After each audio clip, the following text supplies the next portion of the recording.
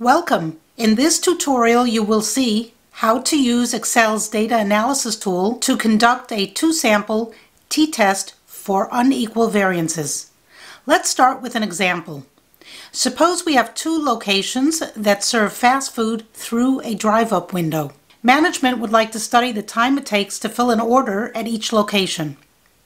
The time it takes to fill an order is defined as the number of minutes it takes from when a customer first gives an order to when it is delivered to that customer at the drive-up window. Data are collected from a random sample of 20 cars at each location.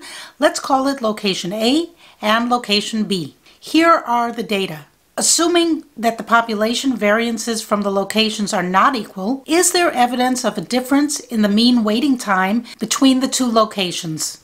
Use a 0.05 level of significance. So this would be a two-tail test since we want to see if there is evidence of a difference between the two locations.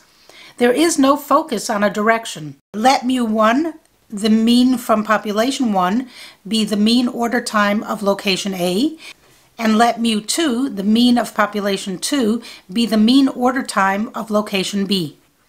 The null hypothesis is the status quo, that there is no difference between the two locations, the alternative hypothesis, also called the research hypothesis, is what we are looking for evidence for, so we would state our null and alternative hypotheses as follows. H naught, that mu1 minus mu2 is equal to 0, meaning that there is no difference between the two, and then HA, the alternative hypothesis, would be that mu1 minus mu2 is not equal to 0. That would mean that there is a difference between the two locations. Since we are assuming that the variances are unequal, we need to use the separate variance t-test for the difference between two means. Pause this video and copy the numbers I have here and then follow along.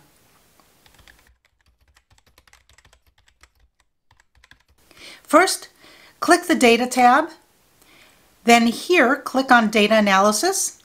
And then in the Data Analysis toolbox, scroll down to where it says t-test, two-sample, assuming unequal variances. Select that and then click OK.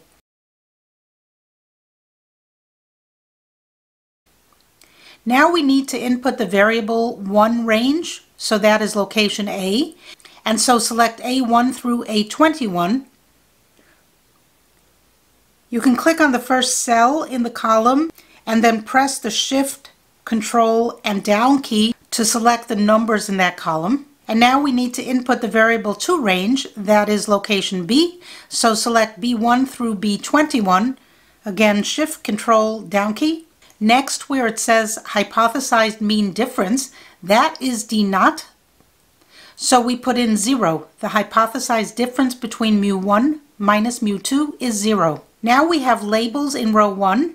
Here you can see the labels say location A and location B. So make sure to check off this box where it says labels. And then put in your level of significance, alpha. By default, alpha is set to 0.05, and for this problem we're using 0.05. So let's leave it alone. Now press OK. We get a new sheet with all the statistics we need to solve this problem. Let's take a look first here in B4. We have the mean for location A. It is 3.315. And in C4, we have the mean for location B, and that's 3.71.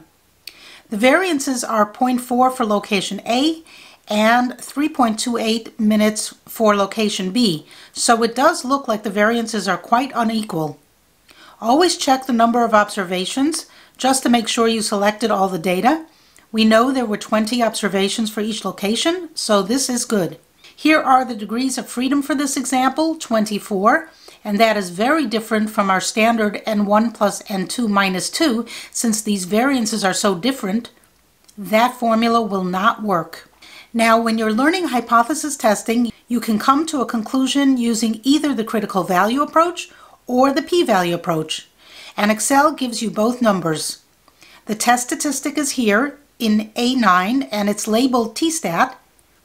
Here it is 0.910085 now this was set up as a two-tail test and the critical value for a two-tail test would be here in B13 and it is 2.06389. So that is our cutoff for the rejection and non-rejection regions. And so if the test statistic is 0.91 and the critical values are plus and minus 2.06, then the test statistic falls in the non-rejection region. We cannot reject the null. There is no evidence of a difference between the two locations. Now let's take a look at the p-value. Using the p-value approach, we would compare the p-value with alpha. The p-value for a two-tail test is always double the p-value for a one-tail test, so we have a p-value of 0.3718 since this is a two-tail test. The rule is to reject the null hypothesis if the p-value is less than or equal to alpha, and it definitely is not. 0.3718 is not less than 0.05, therefore do not reject the null hypothesis. There is no evidence of a difference between the two means. And that's it we have conducted a two-sample hypothesis test assuming unequal variances using Excel. I have another video to conduct two-sample hypothesis tests for equal variances, so check that out as well. I hope this example helps you, and I hope you learned something.